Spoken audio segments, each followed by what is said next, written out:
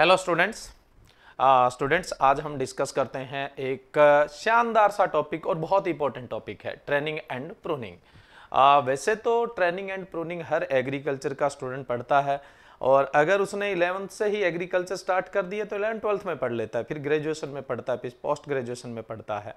लेकिन uh, काफ़ी हद तक मैंने यही देखा है कि बहुत सारे स्टूडेंट के अंदर ट्रेनिंग और जो प्रूनिंग टॉपिक है वो क्लियर नहीं होता है।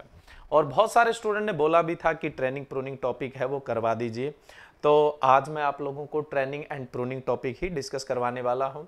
आप चाहे इंग्लिश मीडियम के स्टूडेंट है, चाहे हिंदी मीडियम के स्टूडेंट है, किसी को किसी तरह की कोई प्रॉब्लम नहीं आएगी, अपने इस टॉपिक को बिल्कुल बाय लैंग्वेज लेके चलेंगे, बड़ा स्मूथ सा लेके चलेंगे। थोड़ा सा लेंथ ही रहेगा क्योंकि थोड़ा हम इसको ईजी लेके चलेंगे। आपको ऐसा लगता होगा कि ट्रेनिंग और प्रूनिंग बहुत आसान टॉपिक है ऐसा कुछ नहीं है। ऐसे बहुत सारे ट्रेनिंग मेथड होते हैं जो हमारे सुने हुए भी नहीं होते हैं और जनरली एग्ज़ाम में पूछे भी वही जाते हैं।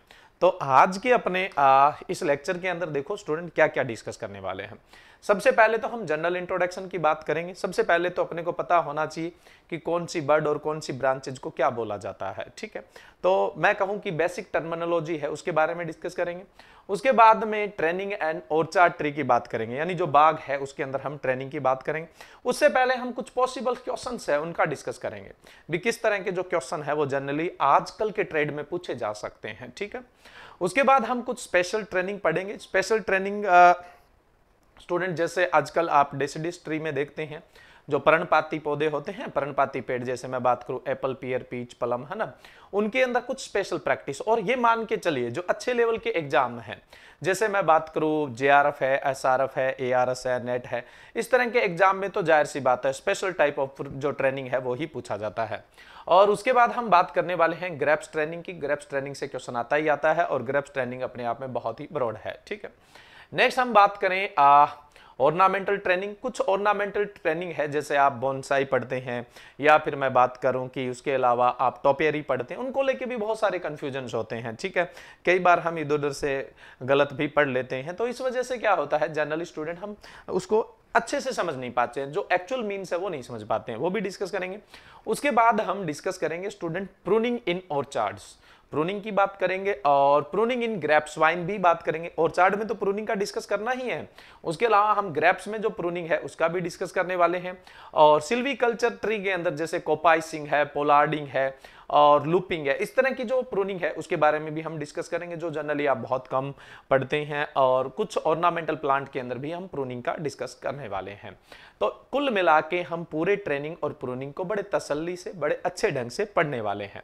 लेकिन उससे पहले एक जो जनरल इंफॉर्मेशन है, वो मैं आपको दे देता हूँ। देखिए स्टूडेंट अभी जैसे 11 अप्रैल की हम बात करें 11 अप्रैल को नए बैच स्टार्ट होने जा रहे हैं। आईबीपीएस एएफओ के बैच स्टार्ट होने जा रहे हैं डबल ए के बैच स्टार्ट होने जा रहे हैं यूपी टीजीटी यूपी पीजीटी और उसके अलावा agriculture for all competitive exam मतलब किसी भी कम्पिटेटिव एग्ज़ाम के लिए आप प्रिपरेशन करते हैं तो उसके लिए भी नए बैच स्टार्ट हो रहे हैं। बैच है, वो हिंदी मीडियम स्टूडेंट के लिए भी है और इंग्लिश मीडियम स्टूडेंट के लिए भी है और बायलैंग्वेज भी है है ना? तो हर तरह का बैच है, वो अवेलेबल है। अगर आप कुछ ज़्यादा इंफॉर्मेशन चाहते हैं तो नीचे दिए गए नंबर है उन पे कांटेक्ट कर सकते हैं और स्पेशली जो मैं नंबर है, वो ऊपर मेंशन कर देता हूँ, आप उन पे कांटेक्ट करके पूरी जानकारी है, वो ले सकते हैं, ठीक है? इसके अलावा स्टूडेंट हम बात करें, ये थ्री वन है ना, ठीक है? इसके अलावा देखो, हम बात करें स्टूडेंट जो हमारी कोर्सेज है, उनमें आप लोगों को क्या मिलता है? लाइव क्लासेस उसके अलावा जो लाइव है वो रिकॉर्डेड फॉर्म में मिलती है। पूरे का पूरा स्टडी मटेरियल यानी नोट्स फॉर्म में मिलते हैं आपको और टेस्ट सीरीज़ है वो भी आपको मिलती है। और जो हमारा ऑनलाइन प्लेटफॉर्म है वो ऑनलाइन एग्रीकल्चर के नाम से वेबसाइट भी है और उसके अलावा आप गूगल प्ले स्टोर से हमारा एप्लीकेशन भी डाउनलोड कर सकते हैं। उसके अलावा स्टूडेंट जैसे आप में से कुछ जे आर के स्टूडेंट है जो जनरली इस वीडियो को देख रहे होंगे तो यहाँ ऑनलाइन एग्रीकल्चर एप्लीकेशन पर आपको जेआरएफ के सभी पुराने पेपर सोल्व फॉर्म में भी मिल जाएँगे, ठीक है? तो और ज़्यादा जो इंफॉर्मेशन है वो आप यहाँ से कलेक्ट कर सकते हैं। अदरवाइज़ अपना ये लेक्चर बोरिंग आपको लग सकता है, क्योंकि ये एडवर्टाइजमेंट की बात है जो हम बहुत कम सुनना पसंद करते हैं। चलो, कोई बात नहीं। हम बात करते हैं स्टूडेंट ट्रेनिंग एंड प्रोनिंग की। उससे पहले देखो, एक कोर्स लिखी है मैंने, है ना? जब ये हम थोड़ा सा डिज़ाइन कर रहे थे, तब दिमाग में आया। तो देखिए, स्टूडेंट, क्या लिखा हुआ है? Plants and humans are wild without discipline देखो, इंसान और पेड़ अगर ये अनुशासन में नहीं रहेंगे डिसिप्लिन में नहीं रहेंगे तो फिर ये वाइल्ड ही कहलाएँगे, जंगली ही कहलाएँगे, ठीक है? तो यहाँ पे हम ह्यूमंस की तो बात नहीं करने वाले हैं। ह्यूमंस को अनुशासन देने के लिए बहुत सारी चीज़ें हैं। सोसाइटी है रिलीजियस है, और जो हमारा संविधान है, वो है। ह्यूमंस को इंसानों को अनुशासित करने के लिए हमारा फैमिली है, हमारी जो सोसाइटी है वो है, हमारे रिलीजियस है वो है, और उसके अलावा जो हमारा संविधान है, वो भी हमें क्या है, अनुशासित करने का काम करता है। उस पर हम डिस्कस नहीं करने वाले हैं। हम डिस्कस करने वाले हैं यहाँ पे प्लांट्स और प्लांट को अनुशासित करने के लिए जनरली डिसिप्लिन में लाने के लिए क्या किया जाता है? ट्रेनिंग एंड प्रूनिंग किया जाता है। इस एग्ज़ाम्पल को मैं आपको आगे प्रूव भी करने वाला हूँ। आपको समझ में आ जाएगा कि ये एक डिसिप्लिन मैनर है और कुछ नहीं है। ट्रेनिंग एक वो फ़िज़िकल ट्रेनिंग एंड प्रूनिंग, दोनों ही, वो फ़िज़िकल प्रोसेस है, जिसके अंदर हम क्या करते हैं प्लांट को डिसिप्लिन फॉर्म के अंदर लेके आते हैं, यानी उसे वाइल्ड होने से बचाते हैं, वही ट्रेनिंग एंड प्रूनिंग है। ये डेफिनेशन नहीं है। इस पूरे चैप्टर को पढ़ने के बाद अगर मैं आपसे कंक्लूडेड एक लाइन पूछना चाहूँगा तो आप ये रिप्लाई देंगे कि ये प्लांट्स के अंदर एक डिसिप्लिन पैदा करने का फ़िज़िकल मेथड है और कुछ नहीं है, ठीक है? तो जनरली ट्रेनिंग एंड प्रूनिंग अपने स्टार्ट करते हैं स्टूडेंट उससे पहले कुछ जो टर्म्स है, वो हमें पता होना चाहिए, हम उन पे डिस्कस करने वाले हैं। देखिए स्टूडेंट यहाँ पे हमने ये जो प्लांट लिए, यहाँ पर कई सारी टर्म्स है, वो हमें सीखनी है। ये पूरे का पूरा प्लांट का एक ढांचा, चाहे इधर ले लो, चाहे उधर ले लो आप, है ना? इनमें से कौन से पार्ट को क्या कहते हैं? बहुत सारे स्टूडेंट हैं, उनको ये भी नहीं पता होता कि ट्रंक किसे कहा जाता है हेड किसे कहा जाता है स्केफोल्ड ब्रांचेज किसे कहा जाता है क्रोच किसे कहा जाता है लीडर किसे कहा जाता है स्पर किसे कहा जाता है वोटर सूट किसे कहा जाता है और सकर्स किसे कहा जाता है और उसके अलावा वोटर सकर्स भी कोई चीज़ होती है वोटर सकर्स भी किसे कहा जाता है। तो स्टूडेंट अपने वन बाय वन यहाँ पे डिस्कस करने वाले हैं। पहले ये टर्म्स आपके अगर क्लियर है अगर ये टर्म्स आपके क्लियर है तो आपको ट्रेनिंग प्रूनिंग समझ में आएगा अदरवाइज़ आप रट सकते हैं, समझ तो नहीं सकते हैं। तो चलते हैं स्टूडेंट सबसे पहले डेफिनेशन पे। सबसे पहला है ट्रंक ट्रंक क्या होता है? The main stem of the plant देखिए स्टूडेंट ये जो स्टेम है, इसको हम क्या बोलेंगे? ट्रंक जो मेन स्टेम है प्लांट का, उसको हम क्या बोलेंगे? ट्रंक बोलेंगे। ठीक है? आप समझ रहे हैं इस बात को? बहुत सिंपल सी बात है। जो मेन स्टेम है, उसको क्या बोला जाता है? ट्रंक बोला जाता है। तो पहली डेफिनेशन तो बिल्कुल क्लियर हो जानी चाहिए। आपके मेन स्टेम जो होता है, किसी भी ट्री का, उसको हम क्या बोलेंगे? ट्रंक बोलेंगे। दूसरा होता है स्टूडेंट हेड हेड अच्छे से ध्यान रखना है, क्योंकि हेड से संबंधित हम यहाँ पे दो तीन बातें और भी करने वाले हैं। हेड क्या होता है? वो पॉइंट जहाँ पर पहली ब्रांच आती है। है ना? वो ब्रांच सॉरी वो हाइट ये जो ट्रंक है, इसकी वो हाइट जहाँ पर पहली स्केफोल्ड ब्रांच या पहली ब्रांच आती है, जो स्टेम से डायरेक्ट ब्रांच निकलती है, उसको हम स्केफोल्ड ब्रांच बोल दें या फिर प्राइमरी ब्रांच भी बोल सकते हैं। इसको हम क्या बोल सकते हैं? स्केफोल्ड ब्रांच भी बोल सकते हैं या फिर क्या बोल सकते हैं? प्राइमरी जो डायरेक्ट ट्रंक से निकलती है, उसी को आप स्केफोल्ड ब्रांच बोलोगे या फिर स्टूडेंट आप उसको क्या बोल सकते हैं? प्राइमरी ब्रांच बोल सकते हैं। तो स्केफोल्ड ब्रांच क्या है? स्केफोल्ड ब्रांच होती है कि जो स्टेम से निकलती है है या ट्रंक से जो ब्रांचेज निकलती है, उसको हम क्या बोलते हैं? स्कैफोल्ड बोलते हैं। और जो पहली स्कैफोल्ड ब्रांच निकलती है या पहली जो प्राइमरी ब्रांच निकलती है, उसकी जो हाइट होती है, उसको हम क्या बोलते हैं? हेड यानी ये पहली ब्रांच निकल रही है तो ये इस ट्री का क्या कहलाएगा? हेड कहलाएगा। तो स्कैफोल्ड ब्रांच और हेड मेरे हिसाब से दोनों आपके क्लियर हो जाने चाहिए। अगर आप स्कैफोल्ड ब्रांच की डेफिनेशन देखना चाहते हैं तो the main branches arise from the head और known as the scaffold branch है ना? तो जो हेड है, वहाँ से ब्रांच निकल रही है, उसके आगे भी जो ब्रांचेज निकल रही है स्टेम से उन सबको हम क्या बोलते हैं? स्कैफोल्ड ब्रांचेज और पहली स्कैफोल्ड ब्रांच निकलेगी, उसको हम क्या बोल देंगे? स्टूडेंट हेड बोल देंगे। और ये हेड की हाइट के अनुसार हम ट्री को तीन पार्ट में डिवाइड कर सकते हैं लो हेड मीडियम हेड और हाई हेड लो हेड का मतलब क्या होता है?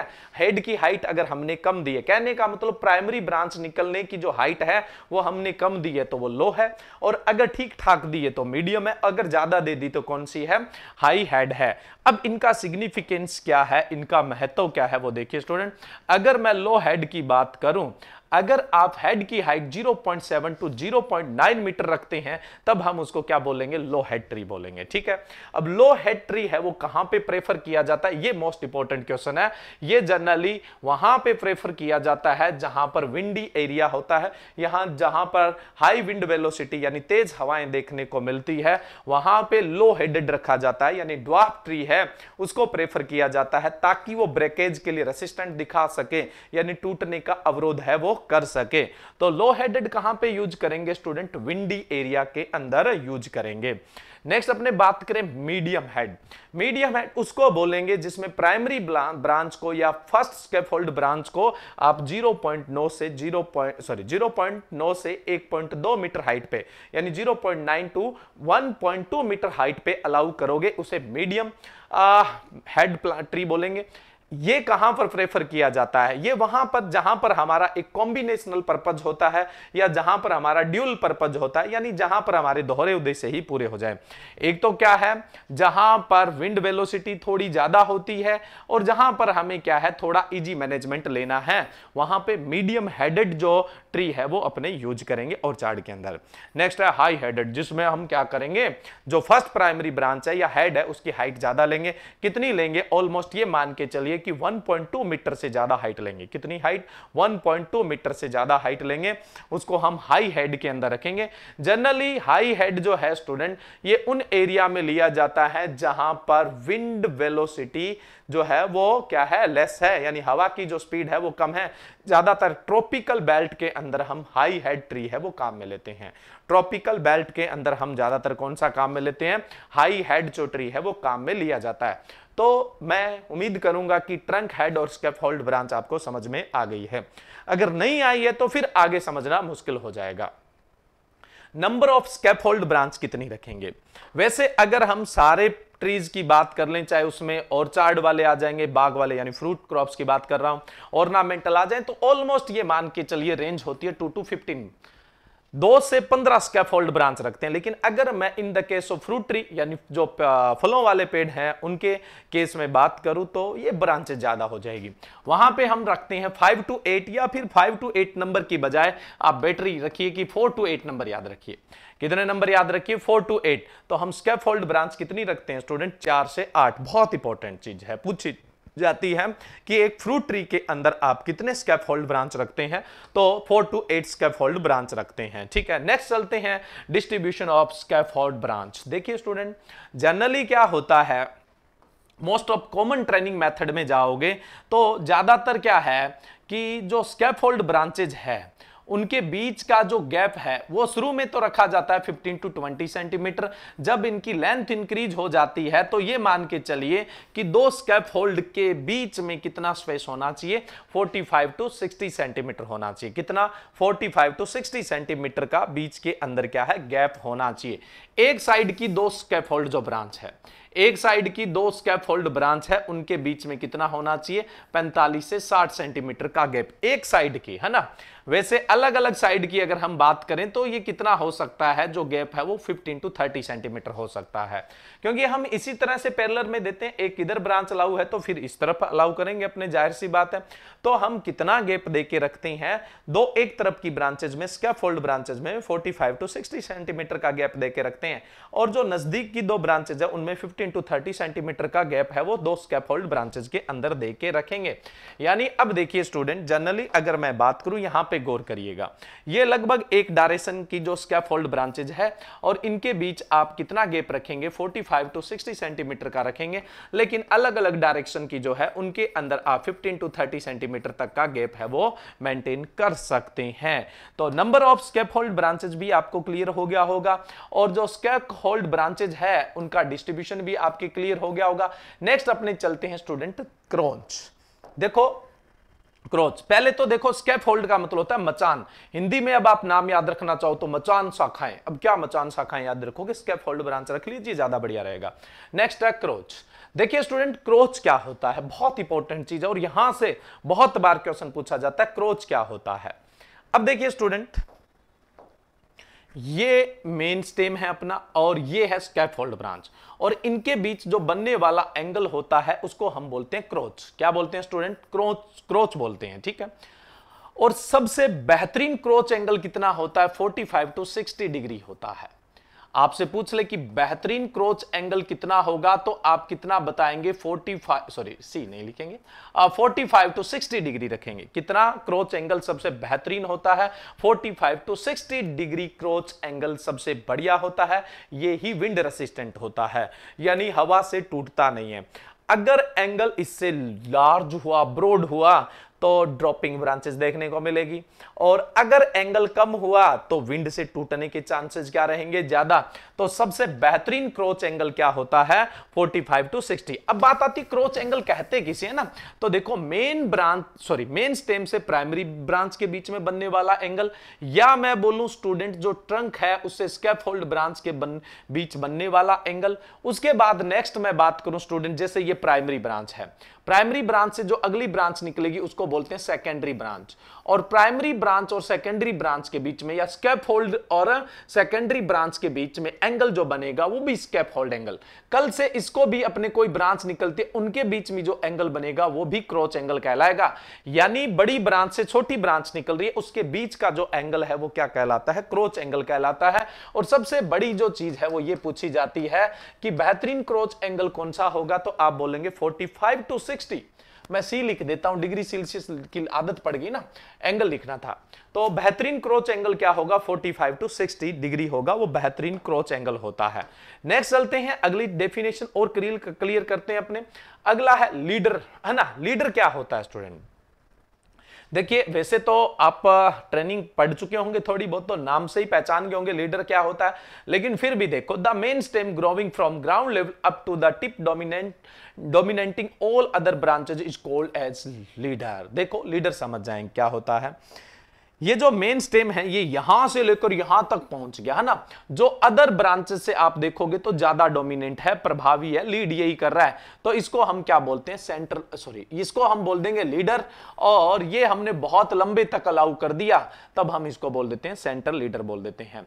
तो जनरली स्टूडेंट क्या है? जो मान लो स्टेम जो है वो कहाँ से लेकर? क्राउन से लेकर। क्राउन क्या होता है? क्राउन भी बात करेंगे। क्राउन से लेकर टिप तक जो जा रहा है, उसको हम क्या बोल देते हैं? लीडर बोल देते हैं, ठीक है? और हमने एक ही लीडर को क्या है? बहुत लंबे तक अलाउ किया है तो हम उसको क्या बोल देते हैं? सेंटर लीडर बोल देते हैं। तो ये क्या कहलाएगा? लीडर क्राउन क्या होता है स्टूडेंट जनरली जहाँ से सोयल से अपने को स्टेम निकलता हुआ दिखाई देता है, उस हिस्से को हम क्या बोलते हैं? क्राउन बोलते हैं। उसको हम क्या बोलेंगे? क्राउन सोयल से स्टेम जहाँ से निकलता हुआ दिखेगा, उसे क्या बोला जाता है? क्राउन बोला जाता है। फिर स्टूडेंट आपने नेक्स्ट चलते हैं आगे। चाहे आप किसी भी कंपिटेटिव एग्ज़ाम की तैयारी कर रहे हैं, ये बहुत इंपॉर्टेंट चीज़ है। और स्पेशली हॉर्टिकल्चर स्टूडेंट के लिए तो ये रामबान लेक्चर रहने वाला है। नेक्स्ट है स्टूडेंट वाटर सूट एक होते हैं वाटर सक्कर्स और एक होते हैं वाटर सूट और एक होते हैं सीधे सक्कर्स एक होते हैं सीधे सक्कर सबकी अपने बात करते हैं। वाटर सूट जनरली क्या होती है? जनरली बहुत विगर्स ब्रांचेज होती है। वाटर सूट देखो वाटर सूट स्टूडेंट उसे ही बोलेंगे। जैसे मान लो कि आपने यहाँ बडिंग या ग्राफ्टिंग कर रखी है। ये क्या है? जनरली बडिंग या ग्राफ्टिंग यूनियन है। इससे ऊपर से कई बार स्टेम से या प्राइमरी ब्रांच से, या सेकेंडरी ब्रांच से विगर्स ब्रांचेज निकलती है, जिसमें और कोई आगे ब्रांच नहीं निकलती है। विगर्स ब्रांचेज होती है और अनफ्रूट वाली मतलब अनफ्रूटेड ब्रांच होती है। इसमें फलन नहीं होने वाला है। ये अनप्रोडक्टिव होती है। प्रोडक्टिव कभी होती ही नहीं है। विगर्स होती है और अनब्रांच्ड होती है, इसमें से और ब्रांचेज आगे नहीं निकलती है और इसमें कभी फ्रूट भी नहीं आता है। इस तरह की जो ब्रांचेज होती है, उसको हम वोटर सॉरी, वोटर सूट बोलते हैं। क्या बोलेंगे इसको अपने स्टूडेंट? वोटर सूट बोलेंगे। और वोटर सूट हमें कभी ट्री पे रखना ही नहीं होता है, क्योंकि न तो वो ब्रांचेड है और न ही वो क्या है फ्रूटेड है। यानी उसमें किसी तरह की फ्रूटिंग भी नहीं होने वाली है तो इसको हम हमेशा ही प्रूनिंग के दौरान रिमूव कर देते हैं। प्रूनिंग क्या होती है, वो आगे डिस्कस करने वाले इसको हम हमेशा ही प्रूनिंग के दौरान रिमूव कर देते हैं। अगर देखो स्टूडेंट, मैंने क्या बोला कि ग्राफ्टिंग या जो बडिंग यूनियन होती है, उसके ऊपर से कोई ब्रांच आती है, तब हम उसको क्या बोलते हैं? तब हम उसको बोलते हैं वोटर सूट बोलते हैं। तो इसका मतलब क्या हुआ? साइन से अगर कोई ऐसी ब्रांच निकल रही है, साइन से अगर कोई ऐसी ब्रांच निकल रही है, तब तो आप उसको बोलोगे वोटर सूट। और अगर सक सॉरी, अगर क्या है, रूट स्टॉक से ऐसी कोई ब्रांच निकल जाती है अगर रूट स्टॉक से इस, वैसे तो रूट स्टॉक से ब्रांच निकलने ही नहीं देना आपको। रूट स्टॉक से तो ब्रांच आपको निकलने ही नहीं देना है। मान लो फिर भी ऐसी अगर कोई ब्रांच निकल जाती है, तब आप उसको बोलेंगे वोटर सक्कर्स तब आप उसको क्या बोलेंगे स्टूडेंट वोटर सक्कर्स बोलेंगे।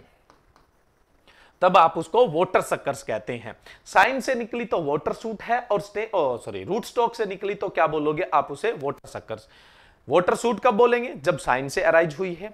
और जब वोटर सकर्स कब बोलेंगे? जब रूट स्टॉक से अराइज हुई है, तब क्या बोलेंगे इसको आप? वोटर सकर्स बोलेंगे। ये किसी काम के नहीं है अनप्रोडक्टिव होते हैं। देखते ही इनको रिमूव कर देना चाहिए, ठीक है? नेक्स्ट अपने बात करते हैं स्टूडेंट एक होता है सक्कर सक्कर्स क्या होता है? देखो, suckers generally suckers root suckers भी हो सकते हैं और स्टेम सक्कर्स भी हो सकते हैं। अगर बिलो ग्राउंड लेवल स्टेम से निकलते हैं, तब तो हम बोल देते हैं, उनको स्टेम सक्कर्स बोल देते हैं। और बिलो ग्राउंड अगर रूट से निकलते हैं, तब अपने उनको क्या बोल देते हैं? रूट सक्कर्स बोलते हैं। ये रिप्रोडक्टिव बॉडी होती है, आप इनको रिप्रोडक्शन प्रोपोगेशन यानी प्रवर्धन के अंदर काम में ले सकते हैं। ये स्टेम सक्कर्स भी हो सकते हैं और रूट सक्कर्स भी हो सकते हैं। स्टेम के भी पार्ट हो सकते हैं और रूट के भी पार्ट हो सकते हैं।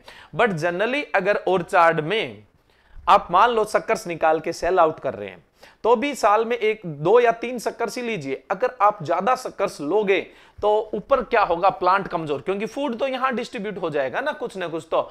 मतलब इनका फ़ूड है, वो कुछ यहाँ चला जाएगा तो फ्रूट की जो क्वालिटी है, वो इंफीरियर हो जाएगी। यानी जो फल है, उसकी गुणवत्ता क्या है? कम हो जाएगी। अगर आपके शक्कर सेल आउट हो रहे हैं तो एक साल में दो से तीन शक्कर सी लो। और प्लांट की इनिशियल स्टेज में तो लो ही मत, क्योंकि उसको वेजिटेटिव ग्रोथ करने दो। वेजिटेटिव ग्रोथ में उसको फ़ूड चाहिए अच्छा खासा फ़ूड चाहिए, ताकि वो अपना वेल स्ट्रक्चर डेवलप कर सके। और जब अपनी वेजिटेटिव ग्रोथ प्रॉपर हो जाए, तब हमें शक्कर ले लेने चाहिए। अगर हमारे शक्कर सेल आउट हो रहे हैं तो लेकिन फिर भी वन ईयर में टू टू थ्री शक्कर ही आप क्या करेंगे? लेंगे, उससे ज़्यादा शक्कर होंगे, उनको आपको रिमूव कर देना है। उसको आप जनरली डीसकरिंग बोलते हैं।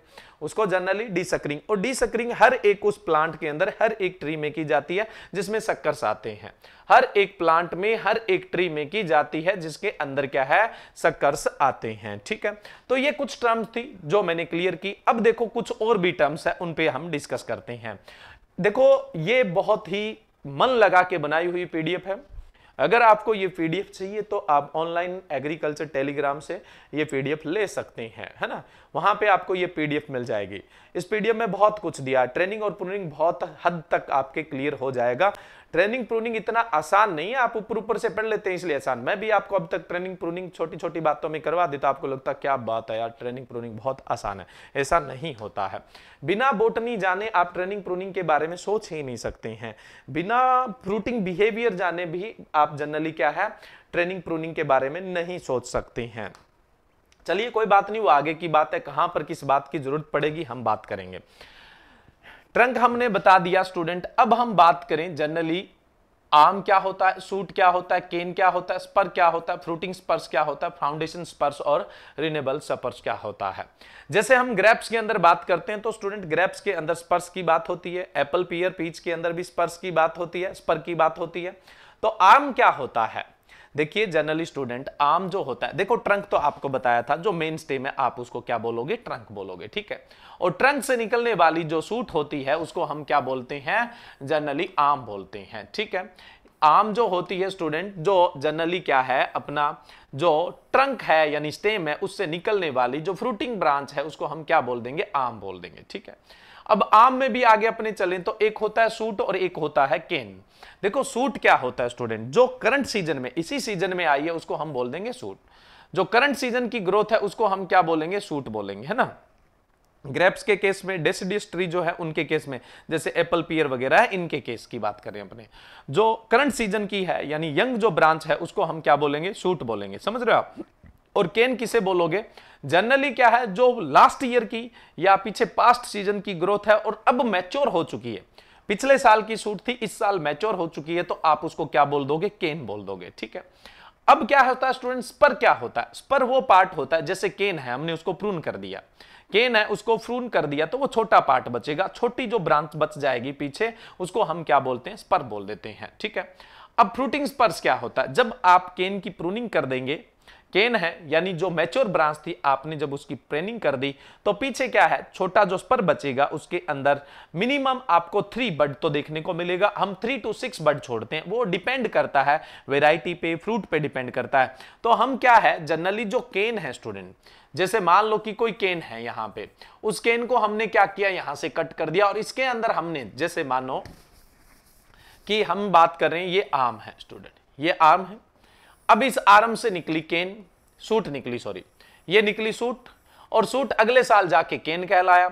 हमने इसको प्रून कर दिया और हमने इसको प्रून किया तो हमने इसमें कितने बड छोड़े? हमने इसमें कम से कम तो तीन बड छोड़े और उससे भी ज़्यादा हम बड छोड़ सकते हैं। डिपेंड करता है वेराइटी पे और डिपेंड करता है फ्रूट पे।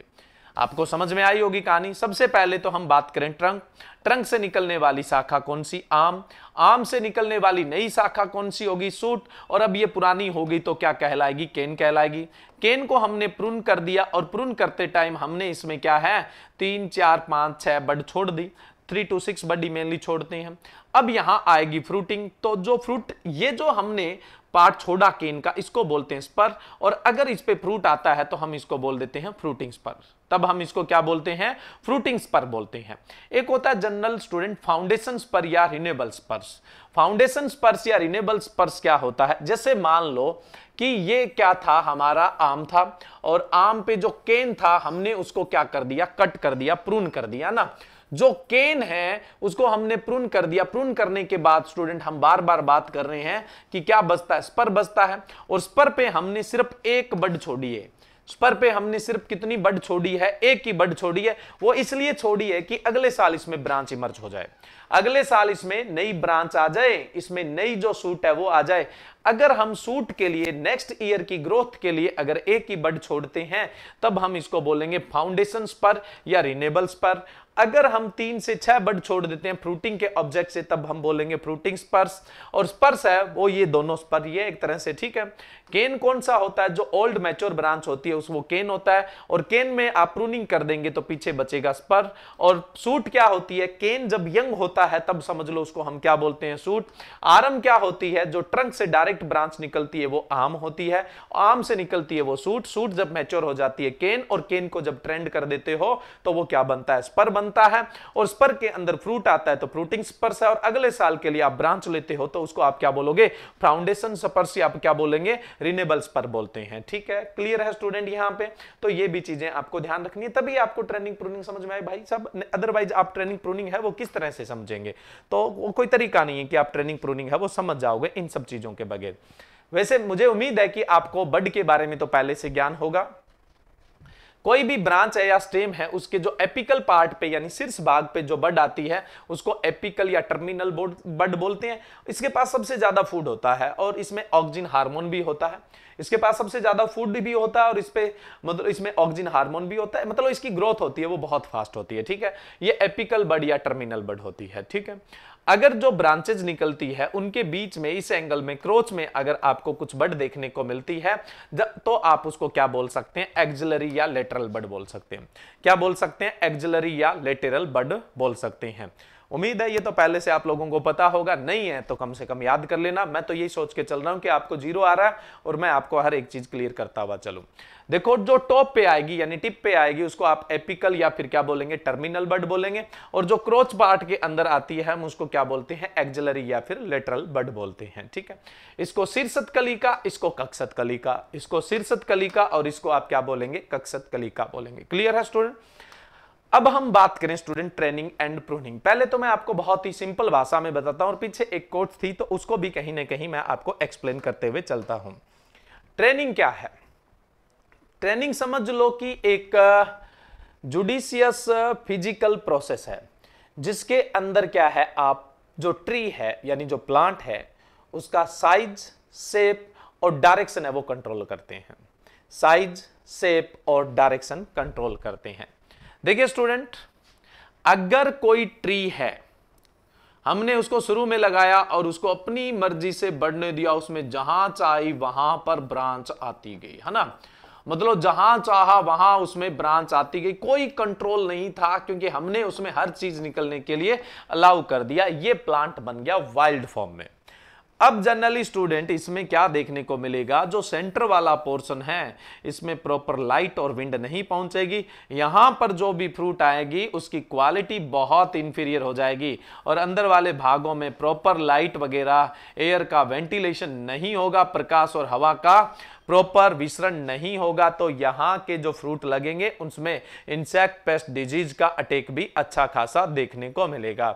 और ये फ़िज़िकल फॉर्म में प्लांट यानी साइज़ और शेप में भी बड़ा खूबसूरत प्लांट नहीं होगा, यानी ओड लगेगा अच्छा नहीं लगने वाला है। क्योंकि आपने इसको कोई अनुशासन दिया ही नहीं, बोले चलने दो। जैसे घर में बच्चा पैदा हो गया, कभी उसको डांट नहीं पड़ी, है ना? तो वो बिगड़ता गया बिगड़ता गया बिगड़ता गया बिगड़ता गया ना? बाहर गया, गालियाँ सीख गया, बीड़ी पीना सीख गया, सिगरेट पीना सीख गया, शराब पीना सीख गया, है ना? झूठ बोलना सीख गया, क्योंकि कोई दबाव ही नहीं था उस पर किसी भी तरह का। तो वो भी वाइल्ड और ये ट्री भी क्या हो गया? वाइल्ड हो गया, ठीक है? अब तुम सोचो, तुम्हारा मन ऐसा करे कि अब हम क्या करें? ये भाई ट्री बिगड़ तो गया, अब इसको सुधार लें। अब इसमें आप देखो ब्रांचेज मैच्योर हो चुकी है। जब आप इसमें ये ब्रांच काटोगे तो ये काफ़ी भाग खाली दिखेगा और यहाँ पर इसका जो पार्ट है ना, वो भद्दा लगेगा जिसको आप काट दोगे।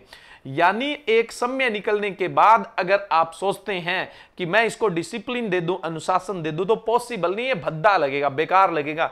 आप इसको कमर्शियल फॉर्म में ला ही नहीं सकते हैं। वैसे ही जैसे कोई किसी के घर बच्चा बिगड़ गया 20 साल 15 साल 20 साल तक तो उसको कुछ बोला नहीं गया। पंद्रह बीस साल बाद उसके पापा का मन हुआ कि मैं आज इसमें सारा डिसिप्लिन भर दूँगा और आज इसको सेट कर दूँगा। है ना? आज मैं इसको डिसिप्लिन दे दूँगा सारा का सारा। अब पापा ने डंडा उठाया और बेटे को पीटने लगे, पीटने की कोशिश करने लगे। फिर पता चला कि पापा खुद ही पीट के आ गए, क्योंकि ये तो खुद डिसिप्लिन था ही नहीं, उसको तो जो फादर है उनका रिस्पेक्ट था ही नहीं। अगर उसमें डिसिप्लिन होता तो ये सोचने की ज़रूरत ही नहीं पड़ती। तो डिसिप्लिन लाने के लिए क्या करना पड़ता है? छोटे से ही। है ना? डांट, फटकार, कईयों के सर्विस कईयों के हार्ड ट्रेनिंग भी होती है। होती होगी आप में से किसी के ना? तो उसको क्या है? ट्रेंड करना पड़ेगा। वैसे ही ट्री को भी क्या करना पड़ता है? ट्रेंड करना पड़ता है। तो अब गौर करिएगा, ये एग्ज़ाम्पल पर्याप्त है आप लोगों के लिए। कोई भी ट्री है स्टूडेंट वो इनिशियल स्टेज में जब ग्रोथ करता है तो उसकी ग्रोथ के साथ साथ ही हम अलाउ करते हैं कि इसमें कितनी स्कैफोल्ड ब्रांचेज है वो आनी चाहिए। कितनी स्कैफोल्ड यानी प्राइमरी ब्रांचेज आनी चाहिए, है ना? इसके जो स्टेम है, उसकी हाइट कैसी होनी चाहिए, ठीक है? इनका क्रोच एंगल है, वो कौन से क्रोच एंगल वाली ब्रांचेज है, वो अपने को रखनी है। इसका शेप हमें ट्राइंगल शेप देना है पिरामिड शेप देना है, या फिर हमें बाउल शेप देना है, या फिर हमें राउंड शेप देना है, ये अम्ब्रेला शेप देना है, ये शुरू से ही आपको सोच के चलना पड़ेगा। ये इनिशियल स्टेज से ही आपको काम सोच के चलना पड़ेगा और उसके साथ साथ ही जो वांटेड ब्रांचेज होगी, जो हमारी इच्छा अनुसार शाखाएँ होगी, हम उनको रखेंगे। जो हमें लग रहा है कि हम जो चाह रहे हैं, उसके जस्ट अपोजिट है तो हमें उनको रिमूव करना पड़ेगा और उसी को आप क्या बोलते हैं? ट्रेनिंग तो फ़र्स्ट क्वेश्चन आप लोगों का यह बनता है कि ट्रेनिंग जो है वो इनिशियल स्टेज में की जाती है। ट्रेनिंग है, वो स्टूडेंट जनरली क्या है इनिशियल स्टेज में की जाती है। ज़्यादातर फ्रूट ट्री के अंदर जो ट्रेनिंग का टाइम होता है, वो टू टू फाइव ईयर्स होता है। यानी इनिशियली दो से पाँच साल होते हैं, उसी दौरान हम क्या करते हैं ट्रेनिंग और जुडिशियस ट्रेनिंग जुडिशियस कटिंग करते हैं। यानी बुद्धिमत्ता से अपने क्या करते हैं कटिंग करते हैं। एक वो कटिंग कटिंग अपने आप में फ़िज़िकल प्रोसेस है ना।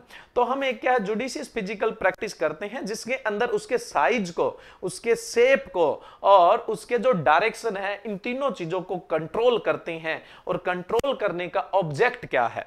कंट्रोल करने का स्टूडेंट आपका ऑब्जेक्ट क्या रहने वाला है? क्या उद्देश्य रहने वाला है? ऐसा तो है नहीं कि आपको आनंद आ रहा है। कोई ना कोई तो आपका उद्देश्य होगा। उद्देश्य क्या है? उद्देश्य है ऑब्जेक्ट है साइज़ शेप और डायरेक्शन को कंट्रोल करने का। ऑब्जेक्ट है स्टेम और सूट रेशो बढ़िया मेंटेन हो। स्टेम एंड सूट रेशियो है वो बढ़िया मेंटेन हो, तना और शाखाओं का अनुपात बढ़िया हो, पहला। दूसरा इसमें विंड का वेंटिलेशन है, हवा का वेंटिलेशन है, वो अच्छा हो, ठीक है? हवा अच्छे से वेंटिलेट हो जाएगी।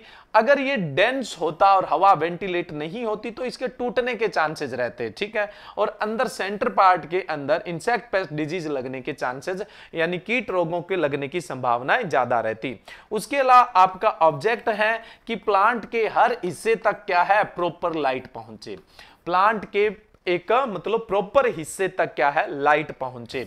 उसके अलावा आपका जो मेन ऑब्जेक्ट है, वो क्या है? ये सब चीज़ें होगी, तब इसके अंदर जो बियरिंग है, यानी जो इल्ड है, वो बेहतरीन हो। इल्ड है, वो बेहतरीन हो, और उस बेहतरीन इल्ड से ये जो ट्री है, वो अनब्रेकेबल हो, है ना?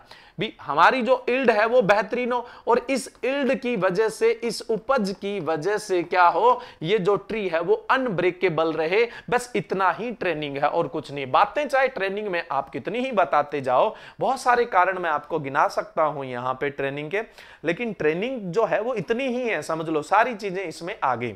हमने ट्रेनिंग के अंदर क्या किया स्टूडेंट देखो इनिशियल स्टेज से प्लांट के डायरेक्शन को कंट्रोल करने के लिए जो अनवांटेड ब्रांचेस थी, उनको रिमूव करते गए। और सिर्फ़ उन्हीं ब्रांचेज को अलाउ किया जो इसका एक बढ़िया ढांचा बना सके, एक अच्छा डायरेक्शन दे सके। सिर्फ़ हमने उन्हीं ब्रांचों को क्या किया? अलाउ किया। दूसरा, उन्हीं ब्रांचेज को हमने अलाउ किया जो एक बहुत सुंदर शेप दे सके। तीसरा, हमने सिर्फ़ उन्हीं ब्रांचेज को अलाउ किया कि जो हमारा कमर्शियल साइज़ है, व्यवसायिक साइज़ है, जो हमारा डिज़ाइन डिजायरेबल साइज़ है, वो हम उससे ले सकें। और उसके अलावा हमने उन ब्रांच को इस मैनर में अलाउ किया कि विंड वेंटिलेशन अच्छा हो। और जो लाइट का वेंटिलेशन है, वो भी क्या हो? अच्छा हो। स्टेम और जो ब्रांचेज है, उनका रेशियो बहुत शानदार है स्टेम और ब्रांचेज का रेशियो बहुत शानदार रहे। क्रोच एंगल बेहतरीन रहे। उसके अलावा इसकी जो बियरिंग कैपेसिटी है, वो बेहतरीन हो और उस बियरिंग की वजह से ये अनब्रेकेबल हो। यही तो ट्रेनिंग है स्टूडेंट इसी को तो हम क्या बोलेंगे? ट्रेनिंग बोलेंगे। ट्रेनिंग क्लियर हो गया होगा। और भी बहुत सारी मैं ट्रेनिंग में आपको बातें बताने वाला हूँ। तो उसके अलावा देखो स्टूडेंट जैसे हम ग्रेप्स में जाएँगे तो ग्रेप्स में आप क्या देखते हो? स्टेकिंग देखते हो ना? ग्रेप्स में अपने किसी सहारे से क्या करते हैं? उसकी वाइन को चढ़ाते हैं। तो आप यहाँ पे क्या कंट्रोल कर रहे हो? डायरेक्शन कंट्रोल कर रहे हो ना? तो ये भी तो ट्रेनिंग है। डायरेक्शन कंट्रोल कर रहे हो, ये भी तो क्या है, एक तरह से ट्रेनिंग ही होती है और क्या होती है। दूसरा, कई बार आप जैसे ग्रेप्स में रोज में रूट प्रूनिंग करते हैं जड़ों की प्रूनिंग करते हैं, वो भी टाइप ऑफ़ ट्रेनिंग ही होता है। वो भी क्या करता है बियरिंग को कंट्रोल करता है। वो भी क्या करता है बियरिंग को कंट्रोल हालाँकि चलो, इसको हम प्रूनिंग में पढ़ेंगे। हाँ ट्रेनिंग में बात नहीं करते अदरवाइज़ आप क्या है कंफ्यूज हो जाएँगे, ठीक है? तो ट्रेनिंग है, वो साइज़ भी देगा सेप भी देगा और जनरली क्या है डायरेक्शन भी देता है। ये ही ट्रेनिंग है। अब हम बात करें स्टूडेंट प्रोनिंग ट्रेनिंग किससे संबंधित है? ट्रेनिंग है साइज़ सेप और डायरेक्शन से। प्रोनिंग है प्लांट के फ़ंक्शन से। प्रूनिंग किससे रिलेटेड है? प्लांट के फ़ंक्शन से है। हमने क्या है? एक साइज़ शेप दे दिया। इनिशियल स्टेज पे हमने ट्रेनिंग की और ट्रेनिंग करके हमने क्या है? एक ट्री को बेहतरीन साइज़ दिया, एक बेहतरीन शेप दिया, एक बेहतरीन जो स्टेम और ब्रांचेज रेशियो है, वो प्रदान किया। लेकिन उसके बाद क्या होता है स्टूडेंट कई बार, कई ब्रांचेज में किसी डिज़ीज़ का इंफेक्शन हो जाता है। अगर ये डिज़ीज़ इंफेक्टेड ब्रांच है तो ये प्रोडक्टिव नहीं रही, और अगर ये रही तो आसपास की ब्रांचेज में भी इंफेक्शन कर देगी। तो प्रूनिंग क्या हुआ? ये डिज़ीज़ वाली जो ब्रांच है, उसको रिमूव करेगा, यानी अनवांटेड हो गई अब ये काम की नहीं बची है। तो ये क्या है? अनवांटेड ब्रांच को रिमूव करेगा, जैसे डिज़ीज़ है इंसेक्ट इन्फेक्टेड जो ब्रांच है। दूसरा मान लो, ये इधर से ब्रांच निकल रही है, इधर से ब्रांच दोनों आपस में स्क्रैच कर रही है। और दोनों आपस में स्क्रैच कर रही है तो दोनों की ग्रोथ बेहतरीन नहीं होगी। इससे अच्छा एक को हम काट देते हैं। एक को अगर रिमूव करेंगे तो कम से कम दूसरी तो बेहतरीन ग्रो करेगी। आपस में स्क्रैच खाती हुई ब्रांचेज को हमें क्या करना है? रिमूव करना है।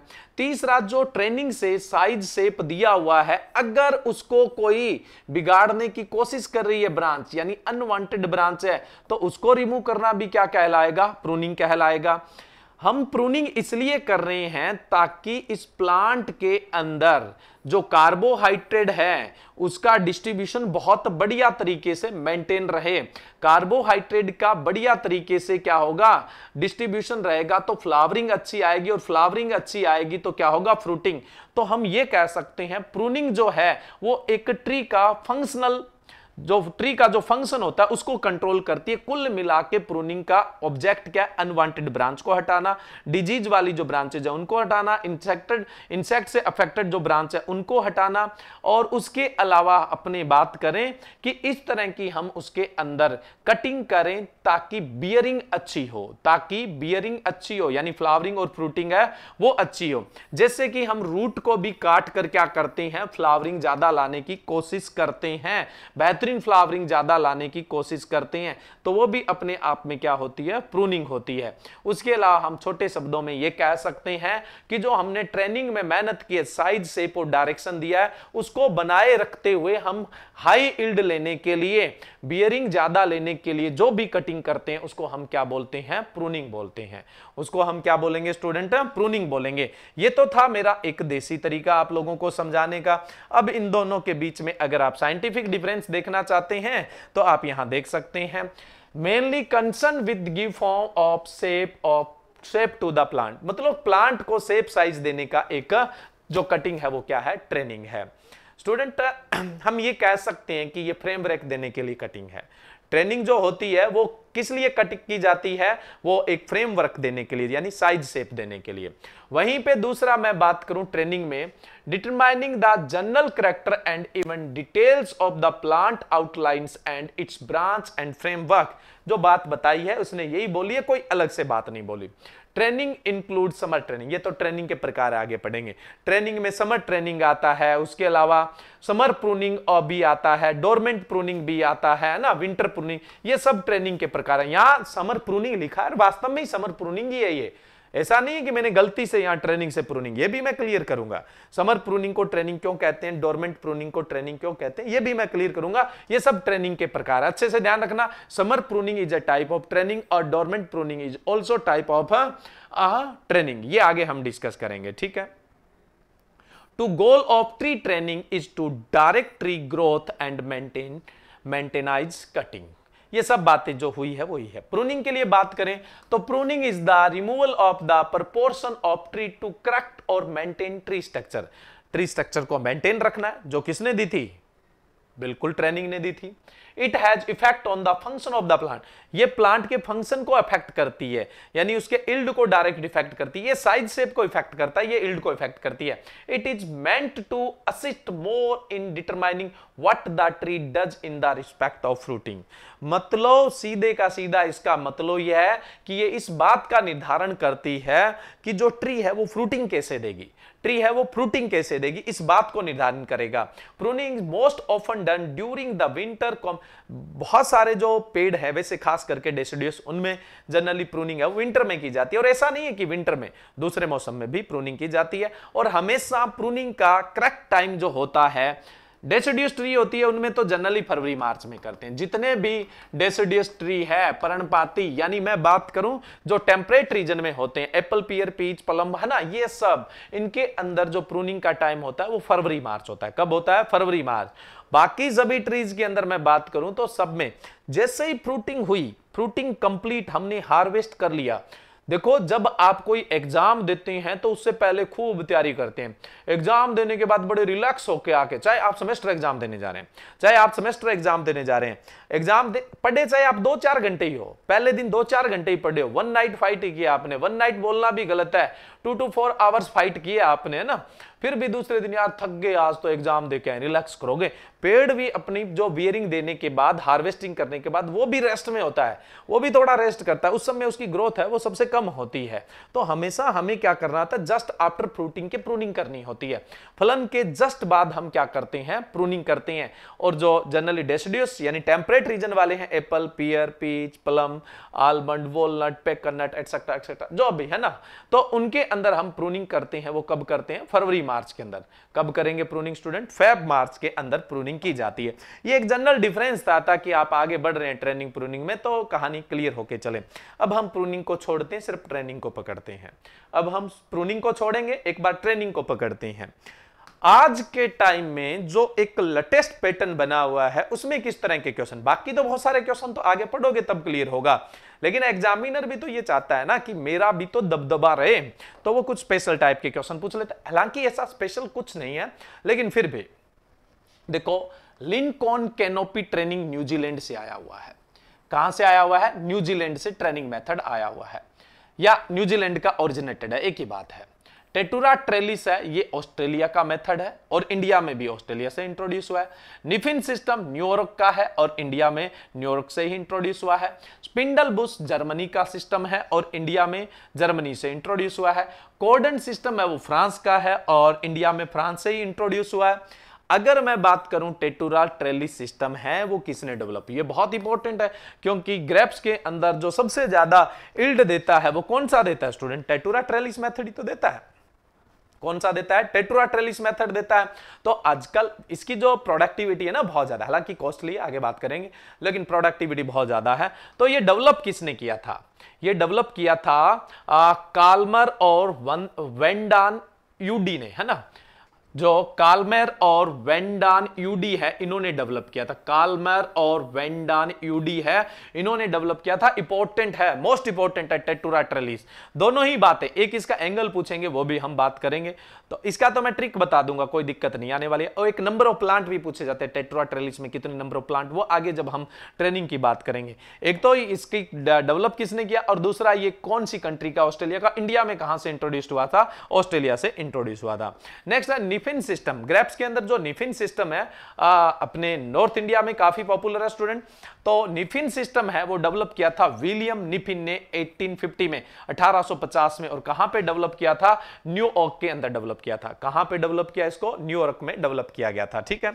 अब चलते हैं स्टूडेंट, हम प्रिंसिपल ऑफ़ ट्रेनिंग की बात करें। ये प्रिंसिपल, ये समझ लो मोटी मोटी अपनी आँख खोल देगा, यानी ट्रेनिंग है उसको एक लाइन में अपने को डिफाइन कर देगा। देखिए, प्रिंसिपल क्या है? All method of training must stand or fall by their ability to achieve a tree capable of bearing high yielding fruit without undue breakage. इसने दो बात बोली है, उन्हीं दो बात को ध्यान रखना है।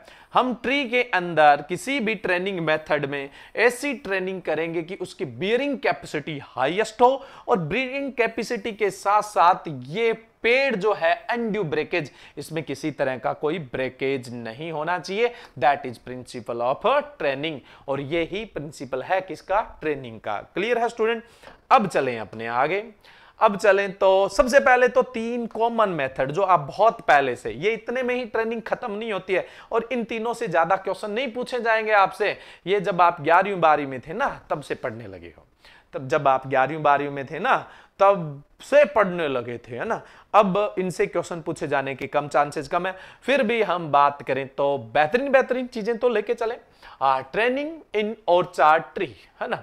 जो और चार ट्री है, उनके अंदर ट्रेनिंग के तीन तो सबसे पहले कॉमन और फिर उसके बाद लाइन लगा देंगे मेथड की, है ना? टेंशन मत लीजिए। Central leader system open leader system और मॉडिफाइड सेंट्रल लीडर सिस्टम ये तीन बहुत कॉमन मेथड है, जिनको समझ लो आप हमेशा से ही पढ़ते आए हैं और बहुत ही कॉमन है। हाँ क्वेश्चन पूछा जा सकता है, ऐसा कुछ नहीं है। सेंट्रल लीडर सिस्टम में क्या होता है, गौर करिएगा। ये जो ट्रंक है, इसको जाने दीजिए ऊपर तक और इसको सेंटर को, यानी इस ट्रंक को, इस लीडर को लीडरशिप करने दे। इसके साथ कोई छेड़छाड़ ना करें। स्टेम के साथ कोई छेड़छाड़ नहीं, बिल्कुल नहीं की हमने जी। उसके बाद आप क्या करेंगे, जो पहली स्केफोल्ड ब्रांच है, पहली स्कैफोल्ड ब्रांच है, वो कितनी हाइट पे अलाउ करेंगे? 40 टू 50 सेंटीमीटर पे अलाउ कर देंगे। और उसके बाद दोस्तों क्या करेंगे आप? अगली जो स्कैफोल्ड ब्रांचेज है, वो ये मान के चलिए 15 टू 20 सेंटीमीटर पे अलाउ कर देंगे। और इस तरह से जितनी भी आपको चार, छह स्कैफोल्ड ब्रांचेज छोड़नी है, वो छोड़ देंगे और इस तरह से आप क्या कर देंगे? ट्री को ट्रेंड कर देंगे। ये ही सेंट्रल लीडर है। क्यों बोला सेंट्रल लीडर क्योंकि सेंटर है, वो ही डोमिनेंट है। सेंटर को ही हमने लीडरशिप करने दी है। इसलिए आप क्या बोलते हो इसको? सेंट्रल लीडर सिस्टम बोलते हो। अब देखिए इसकी प्रॉब्लम क्या है। अब देखनी है कि इसकी प्रॉब्लम क्या है। सेप तो इसमें लगभग ये मान के चलिए कि ट्राइंगल सेप बनेगा और ये एक रोबस्ट साइज़ ले लेता है, यानी एक बड़ा साइज़ ले लेता है विगर साइज़ ले लेता है। इसका मेंटेनेंस करना बहुत मुश्किल है। मैं बोल दूँ कि हाई हील्स में भी इसको नहीं लेना चाहिए क्योंकि प्लांट बहुत लार्ज हो चुका है। दूसरा मैं बोलूँ कि जहाँ पे हाई विंड वेलोसिटी है, जैसे डेजर्ट या एरिड एरिया वहाँ भी इसे काम में नहीं लेना चाहिए। उसके अलावा इसमें और भी साइज़ बड़ा है, इस वजह से काम में नहीं लेना चाहिए। इसमें और भी प्रॉब्लम है। साइडों में अब अगर मान लो कि ब्रॉड लीफ है तो ये बीच वाले हिस्से में प्रॉपर लाइट नहीं आएगी और प्रॉपर लाइट नहीं आएगी तो फ्रूट की क्वालिटी है, वो वीक रह जाएगी, कमज़ोर रह जाएगी इंफीरियर क्वालिटी के रहेंगे। तो अब ये ठीक नहीं है मेथड ये बहुत ही मतलब रेयर यूज़ किए जाने वाला मेथड है। ओनला के अंदर इसको कमर्शियली यूज़ किया जाता था और बहुत लंबे समय तक। आजकल ओनला में भी लोग मॉडिफाइड लीडर सिस्टम यूज़ करने लगे हैं। आजकल ऑनला में भी मॉडिफाइड लीडर सिस्टम यूज़ करने लगे हालाँकि ऑनला में यूज़ होता था सेंट्रल लीडर सिस्टम लोकाट के अंदर सेंट्रल लीडर सिस्टम चलता है और पैकर नट है, उसके अंदर भी सेंट्रल लीडर सिस्टम है, वो चलता है। बाकी किसी फ्रूट ट्री के अंदर आपको सेंट्रल लीडर सिस्टम कमर्शियली नहीं देखने को मिला, मिलेगा। व्यवसायिक स्तर पर आपको नहीं देखने को मिलता है। नेक्स्ट हम बात करें ओपन सेंटर सिस्टम अब ओपन सेंटर सिस्टम का ये तीनों का एक साथ ही डायग्राम था। चलो कोई बात नहीं, अपने यहाँ पे डिस्कस कर लेते हैं। आ, ये ठीक रहेगा एरिया। जो सेंट्रल लीडरशिप कर रहा था उसकी प्रॉब्लम थी। वेंटिलेशन अच्छा नहीं है विगर साइज़ हो रहा है। तो उस प्रॉब्लम को सॉर्ट आउट करने के लिए अब आप सेंटर को लीडरशिप न करने दें ट्रंक को लीडरशिप न करने दें। ये मानिए कि 45 टू 50 सेंटीमीटर हाइट पे आप स्टेम को कट कर दीजिए। 45 से 50 सेंटीमीटर हाइट पर आप स्टेम को कट कर दीजिए और इससे क्या करिए? जनरली आप वो जितनी स्कैफोल्ड ब्रांचेज है फोर टू सिक्स जितनी भी आपको अलाउ करनी है, उनसे अलाउ कर दीजिए। और ये इस तरह का क्या है सेप लेगा। इसको बोलेंगे बाउल शेप क्या बोलेंगे? बाउल शेप अब बताओ, इसमें वेंटिलेशन की कोई प्रॉब्लम दिख रही है क्या? कहीं नहीं। लाइट बहुत अच्छी आ रही है। लाइट बहुत अच्छी आ रही है। बट इसकी प्रॉब्लम क्या है स्टूडेंट इसकी प्रॉब्लम मेजर ये है कि इसका स्टेम का साइज़ छोटा रह जाएगा। जो स्टेम और सूट रेशियो है, वो अच्छा नहीं है। हाई विंड वेलोसिटी में ये टूट जाएगा, मज़बूत नहीं है, इसलिए सॉरी ओपन सेंट्रल सिस्टम जो है, वो बहुत रेयर काम में लिया जाता है। इसलिए ओपन सेंटर सिस्टम है, वो काम में बहुत कम काम में लिया। सेंट्रल लीडर को आप बोलते हैं केंद्रीय अगर प्रो है प्रणाली। क्या बोलते हैं? केंद्रीय अगर प्रो है प्रणाली का। क्या बोलेंगे स्टूडेंट आप इसको? केंद्रीय अगर प्रो है प्रणाली बोलेंगे। और ओपन सेंटर है, इसको बोलते हैं खुला प्रो है प्रणाली। क्या बोलते हैं इसको? खुला प्रो है प्रणाली। ये हिंदी मीडियम के स्टूडेंट के लिए हिंदी के शानदार शानदार शब्द निकालने की मेहनत कर रहा हूँ मैं, है ना? चलो, कोई बात नहीं। ये जो है, इसमें बाउल शेप होगा स्टूडेंट और इसका जो स्टेम होगा वो कमज़ोर होगा, इसलिए इसको कमर्शियली अडेप्ट नहीं किया जाता है। इसको व्यावसायिक स्तर पर काम में नहीं लिया जाता है। उम्मीद है दोनों समझ में आ गए होंगे। तो ओपन सेंटर सिस्टम से तो कुछ ज़्यादा आपको याद रखने की ज़रूरत नहीं है। ये ओपन सेंटर सिस्टम है स्टूडेंट ये जनरली क्या है? ओपन सेंटर सिस्टम है। वो आपको देखने को मिलता है, ठीक है? चलिए नेक्स्ट अपने बात करते हैं स्टूडेंट अगला जो मेथड है, वो है modify leader system modify leader system समझ लो कि अब तक हमने जो दोनों मेथड पढ़े हैं, उनका एक मॉडिफिकेशन है या उनका इंटरमीडिएट मेथड है, यानी बीच का मेथड है। इसके अंदर हम स्टूडेंट क्या करेंगे? जो पहले की दोनों के अंदर प्रॉब्लम थी, वो दोनों ही सोल्व हो जाएगी। हम स्टेम को बढ़ने देते हैं, बढ़ने देते हैं, बढ़ने देते हैं, लेकिन लीडरशिप नहीं करने देंगे। 120 से 150 120 टू 150 सेंटीमीटर तक बढ़ने देंगे, उसके बाद कट कर देंगे। और उसके बाद क्या करेंगे, हम जनरली जो प्राइमरी ब्रांचेज है, उनको अलाउ कर देंगे। ये स्कैप होल्ड ब्रांचेज है, उनको हमने क्या कर दिया अलाउ कर दिया। और इन दो स्कैप होल्ड ब्रांचेज के बीच में वो ही कितना डिफरेंस रखोगे? 15 टू 20 सेंटीमीटर या 13 सेंटीमीटर तक भी रख सकते हो। तो अब आप देखो स्टेम है, उसकी लेंथ भी लंबी होगी, यानी स्टेम भी मज़बूत है लाइट का वेंटिलेशन भी अच्छा हो गया, यानी प्रकाश का जो वेंटिलेशन है, वो भी इसमें शानदार हो गया, और उसके अलावा जनरली बहुत ज़्यादा रूबस्ट साइज़ भी नहीं लिया बहुत ज़्यादा रूबस्ट बहुत बड़ा साइज़ भी इसने गेन नहीं किया है। इसने बहुत बड़ा साइज़ भी गेन नहीं किया है। तो इसको हम बोलते हैं मॉडिफाई लीडर सिस्टम तना भी मज़बूत लाइट भी अच्छी आ रही है विंड भी अच्छी आ रही है। मज़बूत भी है, टूटेगा भी नहीं परफेक्ट है, बहुत बढ़िया है। इसीलिए सभी फ्रूट्स के अंदर मॉडिफाई लीडर सिस्टम काम में लिया जाता है, जो सरब के रूप में नहीं होता, जो झाड़ी के रूप में नहीं होता, उन सब के अंदर मॉडिफाई लीडर सिस्टम ही। अगर किसी ट्री में आपसे पूछ ले, जी इसमें ट्रेनिंग का कौन सा मेथड काम में लेते हैं? लोकाट और पेकन नट को छोड़कर। ओनला में पहले तो कमर्शियली सेंट्रल लीडर सिस्टम ही लेते थे। आप सेंट्रल लीडर सिस्टम का आंसर है, कोई स्टेट लेवल का एग्ज़ाम है तो उसमें दे सकते हैं। कोई जनरल कंपटीशन एग्ज़ाम है, उसमें दे सकते हैं। कल को आप ए नेट का एग्ज़ाम दोगे, वहाँ पे तो आपको लेटेस्ट बताना पड़ेगा मॉडिफाइड लीडर सिस्टम तो लोकाट को छोड़ दो, पेकनट को छोड़ दो, ओनला को छोड़ दो, बाकी सभी फ्रूट जो एक तो बेल के रूप में, वाइन के रूप में नहीं है और दूसरा झाड़ी के रूप में, सरब के रूप में नहीं है। यानी ट्री के जो फॉर्म में उन सब के अंदर मॉडिफाइड लीडर सिस्टम ही अपनाया जाता है। उन सब के अंदर किसी में भी अलग अलग से याद रखने की ज़रूरत नहीं है। आपको यही याद रखना है कि उन सब के अंदर क्या अपनाया जाता है मॉडिफाइड लीडर सिस्टम है, वो अपनाया जाता है। क्लियर है स्टूडेंट कोई दिक्कत इसमें किसी तरह की? तो लोकाट और पेकनट और ओनला में सेंट्रल लीडर सिस्टम पड़ा। बाकी जितने भी फ्रूट ट्री मैं शब्द बोल रहा हूँ ट्री ट्री के अंदर मॉडिफाइड लीडर सिस्टम यूज़ करेंगे। कौन सा यूज़ करेंगे? मॉडिफाइड लीडर सिस्टम है, वो यूज़ करेंगे, ठीक है? नेक्स्ट स्टूडेंट एक है यहाँ पे multi stem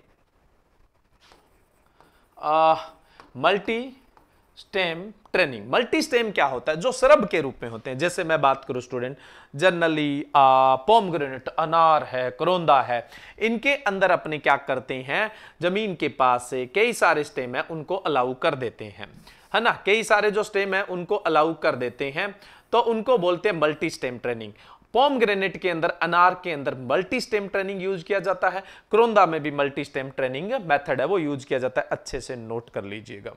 पॉम ग्रेनेट के अंदर और क्रोंदा के अंदर मल्टी स्टेम ट्रेनिंग मेथड चलता है।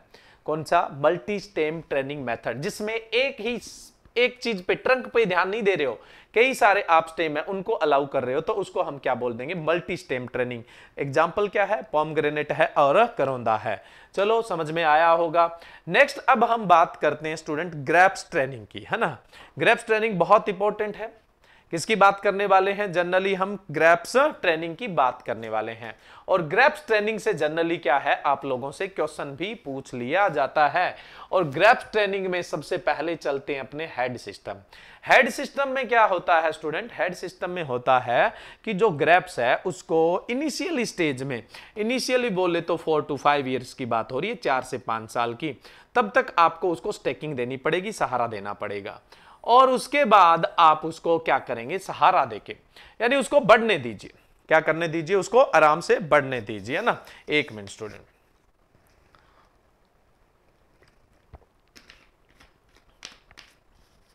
जनरली उसको बढ़ने दीजिए। यही 75 टू 90 सेंटीमीटर या कभी कभार से भी थोड़ा ज़्यादा जा सकते हैं। 75 टू 90 सेंटीमीटर तक उसको बढ़ने के बाद हम उसको ऊपर से कट कर देंगे। ऊपर से कट कर देंगे। अब चार पाँच साल में क्या होगा? ये मज़बूत हो जाएगा इसका स्टेप फिर इसको किसी सहारे की ज़रूरत नहीं है। फिर किसी भी स्टेकिंग की इसको ज़रूरत नहीं है। और यहाँ हेड से हम क्या करेंगे generally four to five branch allow कर देंगे। कितनी ब्रांच है वो अलाउ कर देते हैं generally student four to five branches है वो अलाउ कर देते हैं। तो ये हेड सिस्टम है। आजकल ही कमर्शियल इसको यूज़ नहीं किया जाता लेकिन आ, मैं बात करूँ कि ग्रेप्स ट्रेडिंग का ओल्डेस्ट मेथड है ये। ग्रेप्स ट्रेनिंग का जनरली इसको ओल्डेस्ट मेथड कहा जाता है। अंगूरों का जो संधाई ट्रेनिंग को बोलते हैं, संधाई, अंगूरों की संधाई का सबसे पुरानी विधि है ना? ग्रेप्स की ट्रेनिंग का सबसे ओल्डेस्ट मेथड है, ठीक है? हेड सिस्टम जो है। नेक्स्ट जो ग्रेप्स ट्रेनिंग के अंदर आता है, बावर सिस्टम बावर सिस्टम में दो तीन चीज़ें पहले जो क्वेश्चन इंपॉर्टेंट बनते हैं। हेड सिस्टम ओल्डेस्ट मेथड है और कितनी हाइट से? 75 टू 90 70 90 सेंटीमीटर हाइट से काटा जाता है। फोर टू फाइव जो ब्रांचेज है, उनको अलाउ किया जाता है। ठीक है? और अब हम बात करें नेक्स्ट मेथड है बावर सिस्टम हाँ हेड सिस्टम से एक क्वेश्चन और बनेगा आपका कि which method is oldest method for grape training अंगूर की संधाई का सबसे पुराना तो कौन सा याद रखोगे आप? हेड सिस्टम है, उसको याद रखेंगे। नेक्स्ट है स्टूडेंट बावर सिस्टम बावर को हिंदी में बोल देते हैं पंडाल, है ना?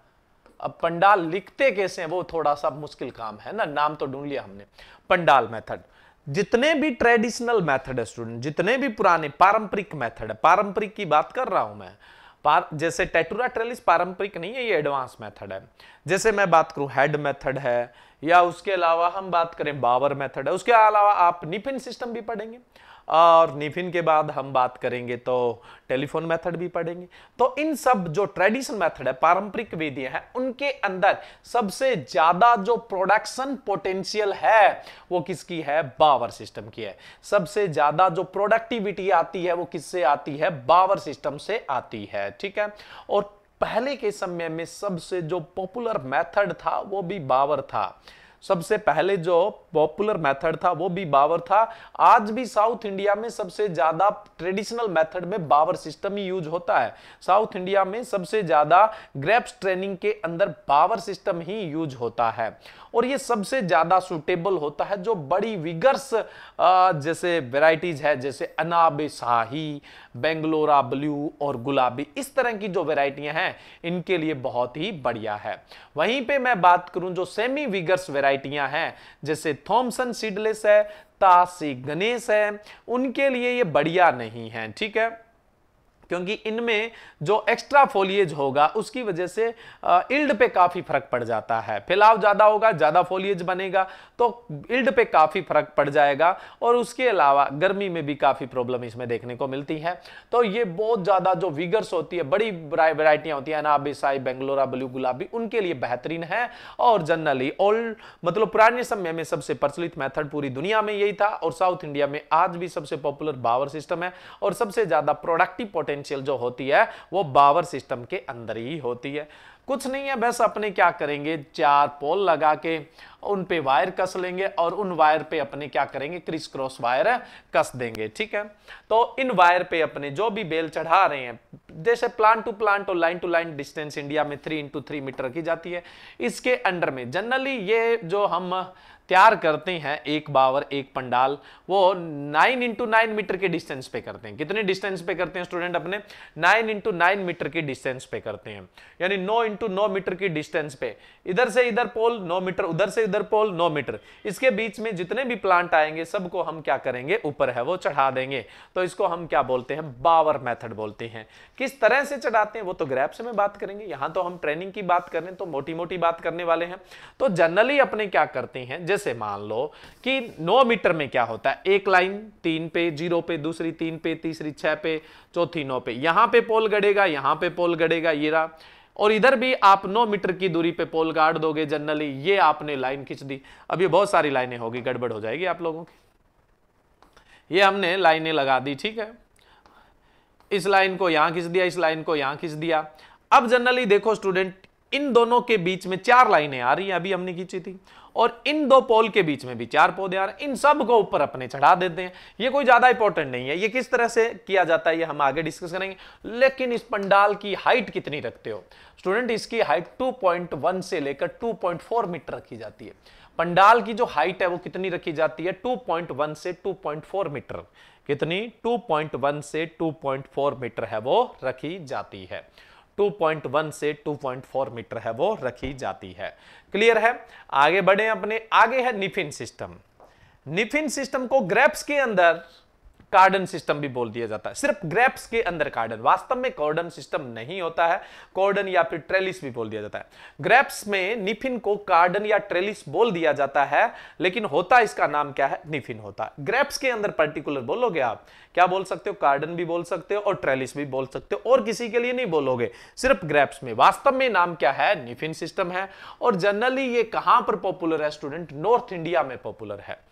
ये जनरली कहाँ पर पॉपुलर देखने को मिलता है? आपको नॉर्थ इंडिया के अंदर पॉपुलर देखने को मिलता है। देखिए स्टूडेंट आप डायग्राम देखते ही समझ गए होंगे, देखो इसमें क्या होता है। इसमें यह होता है कि हमने एक पोल गाड़ा यहाँ, एक पोल गाड़ा यहाँ।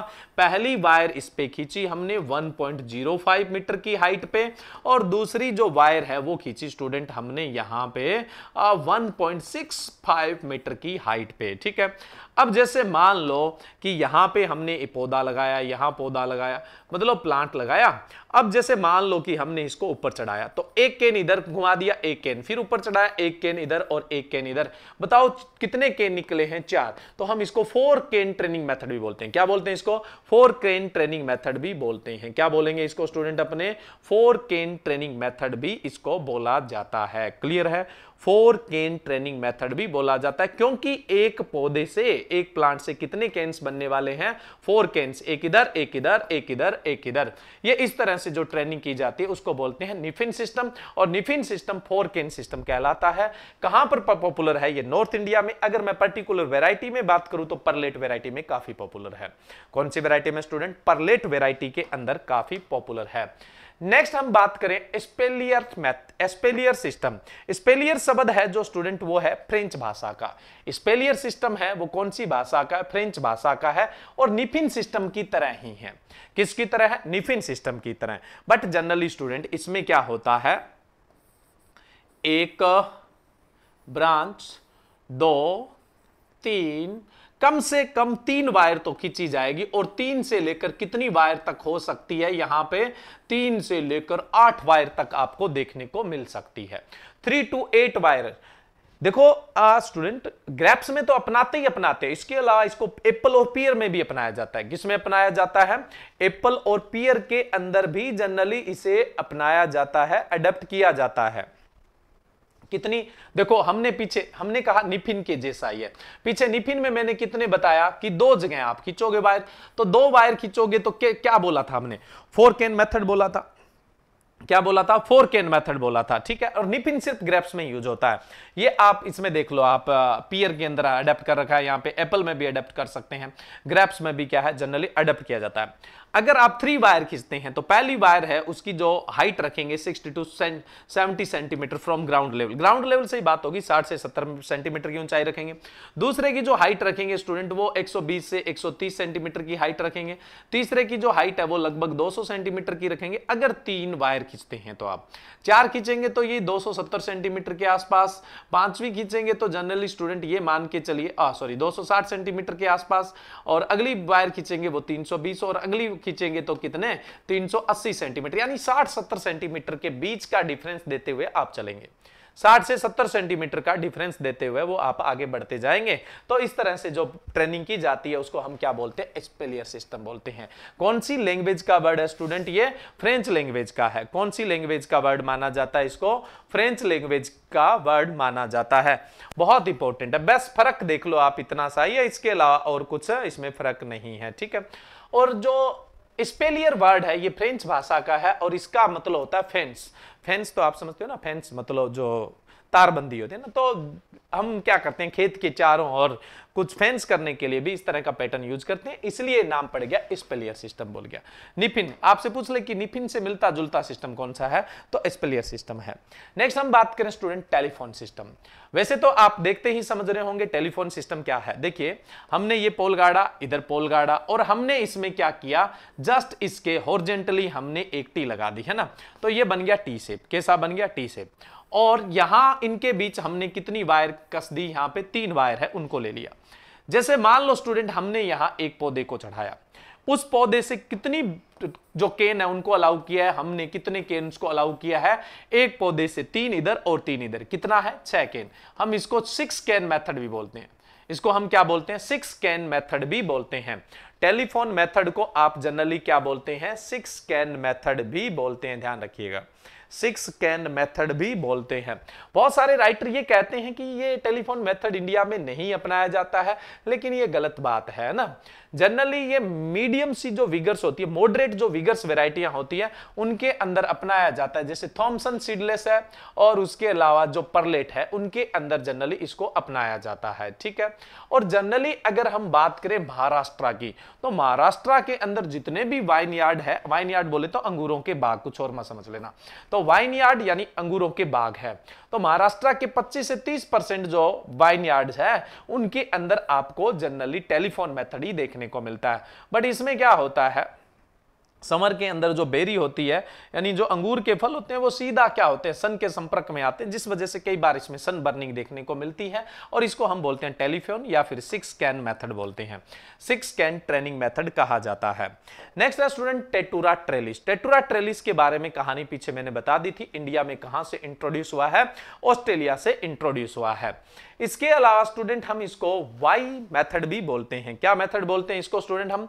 वाई मेथड भी बोलते हैं और इसके अलावा इसको वी मेथड भी बोला जाता है। वाई मेथड भी बोलते हैं? वी मेथड भी बोलते हैं। दोनों ही बोला जाता है क्योंकि टेटूराज बहुत प्रकार के होते हैं। आगे मैं आपको दिखाऊँगा, दुनिया भर के टेटूराज आपको है, वो देखने को मिलते हैं।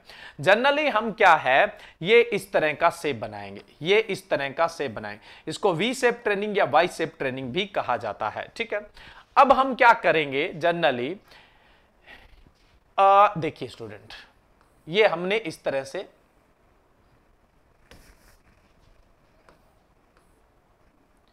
एक मिनट। हमने ये सेब बनाया, उसके आगे फिर ये सेब बनाया। अब हमने यहाँ से क्या कर दिया? वायर खींच दी। स्पोर्टिंग वायर आप कितनी खींच रहे हो? दो खींच रहे हो? तीन खींच रहे हो? ये अलग अलग मेथड के हिसाब से है। आगे हम इनकी बात करने वाले हैं। तो हमने इनमें क्या कर दी? स्पोर्टिंग वायर है, वो खींच दी। अब हम क्या करेंगे? यहाँ से प्लांट अलाउ करेंगे और उससे कितने केन छोड़ेंगे? अपने दो केन और उन केन को फिर आगे अपने इस तरह से फैला देते हैं। तो ये टेट्रोटलिस मेथड है और इसके अंदर का जो एंगल रखा जाता है यहाँ जो बीच का एंगल रखा जाता है, इस वाई शेप का या वी शेप का, वो कितना रखा जाता है? 60 डिग्री का एंगल रखते हैं। कितना एंगल रखते हैं स्टूडेंट 60 डिग्री का एंगल रखते हैं। जनरली क्या है, इसमें ये जो आप स्ट्रक्चर लगाते हैं, इसका खर्चा बहुत होता है। ये कॉस्टली मैथड है।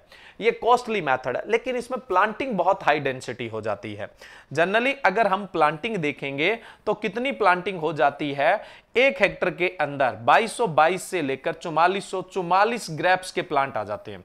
कितने आ जाते हैं? 2222 से लेकर चौवालीस चौवालीस जो ग्रेप्स के है प्लांट वो जनरली आ जाते हैं। इतने प्लांट जो है ग्रेप्स के अंदर और किसी मेथड से नहीं लगने वाले हैं। ग्रेप्स के अंदर इस तरह से और कहीं नहीं लगने वाले हैं, ठीक है?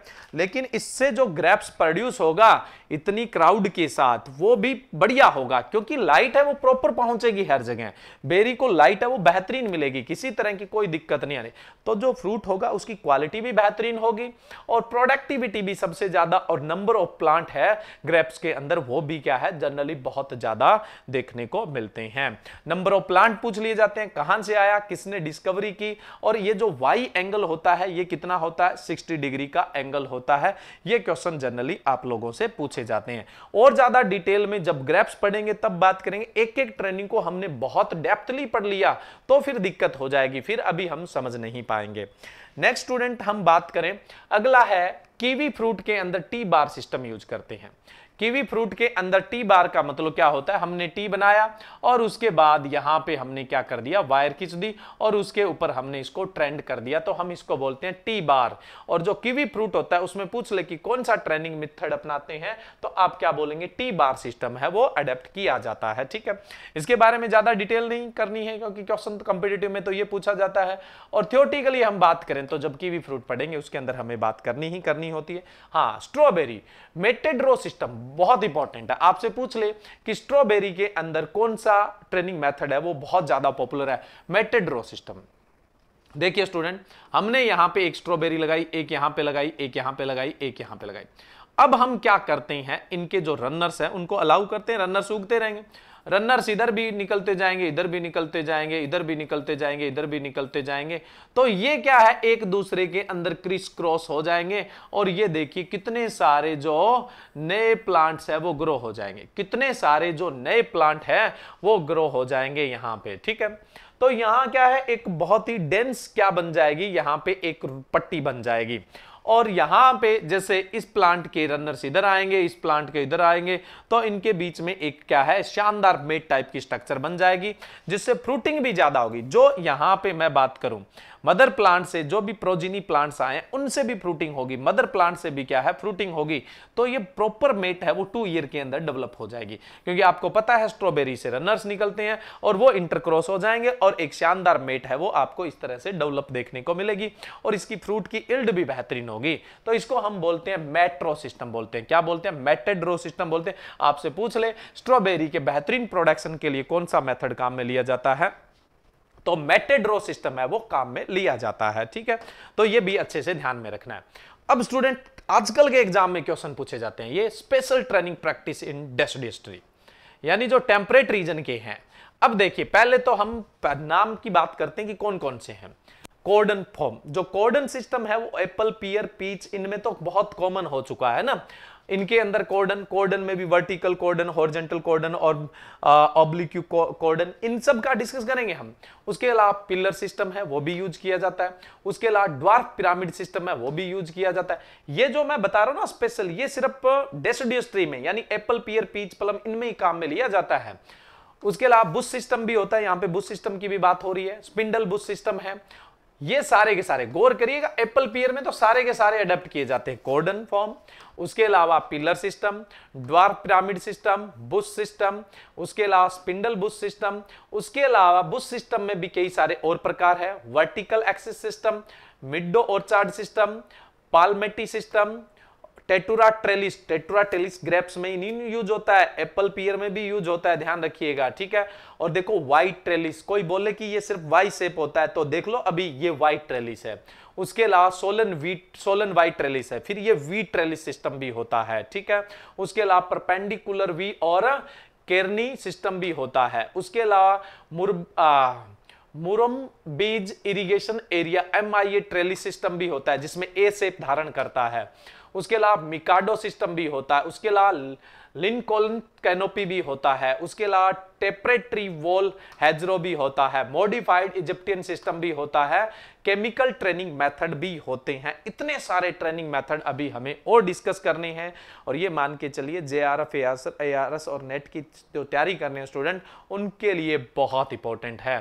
और उसके अलावा हम बात करेंगे जो कुछ ऑर्नामेंटल पर्पज से ट्रेनिंग की जाती है टॉपेरी और बोनसाई बोनसाई का जब डिस्कस करेंगे तो पेनसाई भी आ जाएगा और उसके बाद आपका प्रोनिंग स्टार्ट होने वाला है।